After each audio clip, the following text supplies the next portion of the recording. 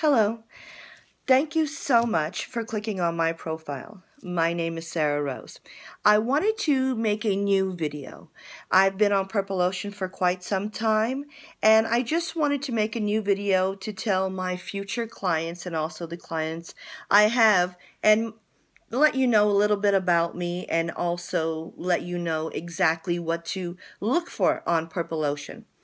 I am a advisor that is very honest, very straightforward.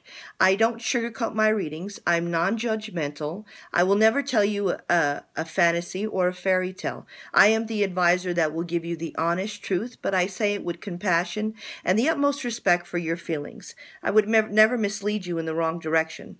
I treat my clients as if they were my friends, as if I would want to be treated.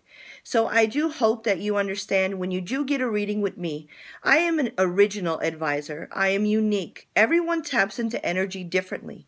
I tap into energy one way, another advisor may tap into it differently. So you'll never get two readings that are the same. I'd like to let you know that. So when you do come to me, come to me with an open mind and an open heart so that you may absorb the information that I give you, but also understand that all readings are different. So knowing that, let's not do comparison and comparing readings. Let's look forward together to put you on your right path and destiny in life.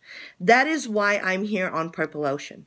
I feel Purple Ocean is a wonderful platform through social media to help as many people as I can throughout the world. And that is why I've chosen to continue on Purple Ocean. To me, it is a wonderful platform, and I feel that I will be here for a very long time.